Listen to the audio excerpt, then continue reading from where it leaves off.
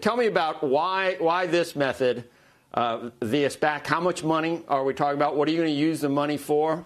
Uh, why did it make sense, the Trine uh, uh relationship?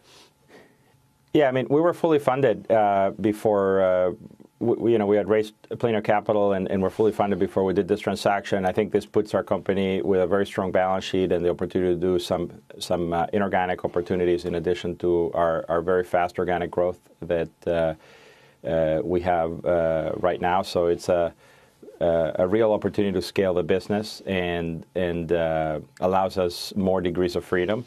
And in a market that uh, has gone from a billion to 12 billion over the past decade, and this decade is going to go from 12 to 146. So it's been compounding at 20% for a decade, and it's projected to continue to compound uh, over this uh, coming decade. So we're at an inflection point, and we think there are lots of opportunities for growth uh, in our in our sector. Hey, Ric.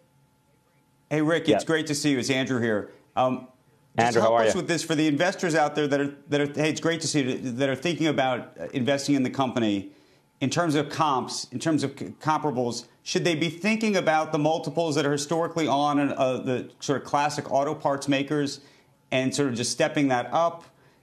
Uh, do those companies effectively go? I mean, uh, is this a zero sum game? Can they still win while you win? I know you have a lot of patents, but in terms of competition, longer term, just speak to that if you could. Absolutely. I mean, I think that uh, there are many different types of comps. We are working on, end use parts versus prototyping or tooling, which was the past uh, in this industry.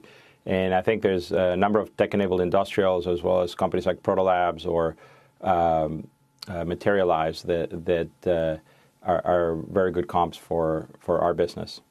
And you know we're growing much faster than than the market, uh, so it's a it's a uh, another consideration. Shepard Smith here. Thanks for watching CNBC on YouTube.